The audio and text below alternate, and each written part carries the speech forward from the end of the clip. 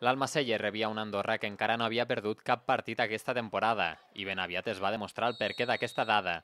Abans de la primera mitja hora de joc, tres aproximacions clares de perill. Jordi Xiner va evitar el gol en un 1 contra 1, Jordi Martí va treure l'esfèrica sota pals quan els visitants cantaven el gol i el xut de Jordi Betriu marxava fora per ben poc. Els locals, però, van anar frenant el vendaval andorrà i a poc a poc posaven setge a la porteria visitant.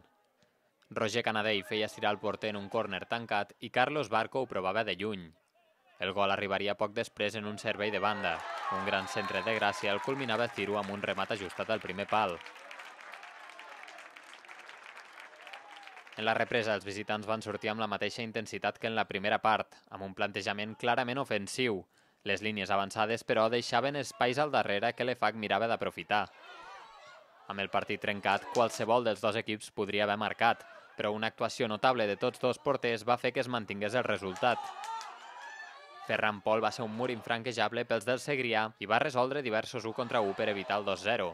Jordi Xiner també va ser decisiu per evitar l'empat amb parades de mèrit sobretot al tram final del partit.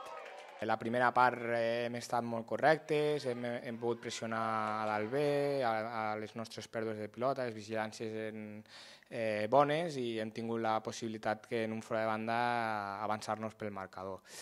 Després la segona part bueno, eh, ha estat una mica més de l'Andorra a nivell ofensiu, però nosaltres hem sabut guardar bé eh, la nostra porteria i intentar eh, pues, sortir més al contraatac. Amb aquest triomf l'EFAC es posa 3 punts del líder, el martinenc. L'equip tornarà a jugar diumenge que ve al camp de l'Igualada.